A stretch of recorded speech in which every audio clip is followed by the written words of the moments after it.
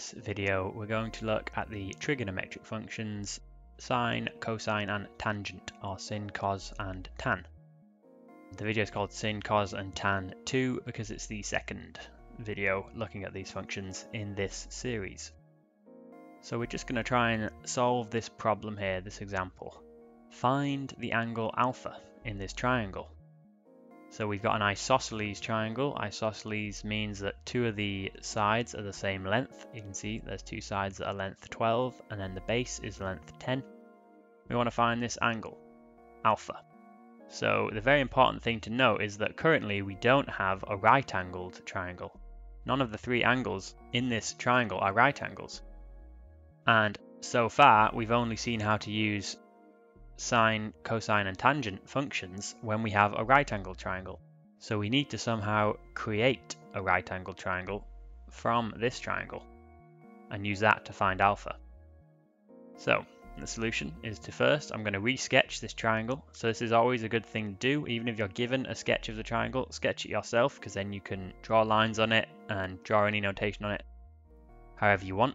So you can just do this on a bit of paper, it doesn't have to be accurate, you just have to label it accurately. So I'm going to label the angle alpha and I'm going to label one of these two sides that are length 12. I'm just going to label one of them. And then I'm going to draw a line down the middle of the triangle which makes a right angle with the base. So I'm just defining this line if you like. It's the line that makes a right angle with the base and starts at the corner where alpha is.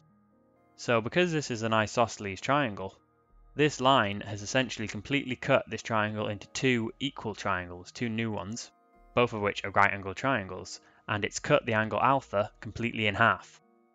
So essentially, if we just think about this one half, this red triangle here, it is a right angled triangle. We have one length in it, and well, the moment we have one length in it, but we can also label another one. We can first label the angle up here is alpha over 2. The whole angle was alpha, you can see that on the left hand side. So this angle is just half of that, alpha over 2.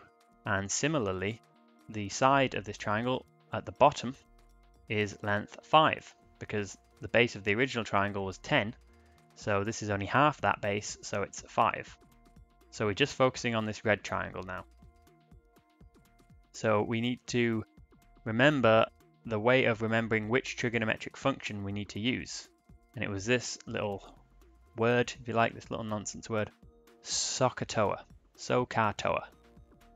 So we look at our triangle and we think, right, what two sides of the triangle are involved here? Well, 12 is the hypotenuse. It's the side opposite the right angle. So we have the hypotenuse. And 5 is the side opposite the angle we're concerned with. So 5 is opposite alpha over 2. So 5 is the opposite. So we have the hypotenuse and the opposite. So that's h and o.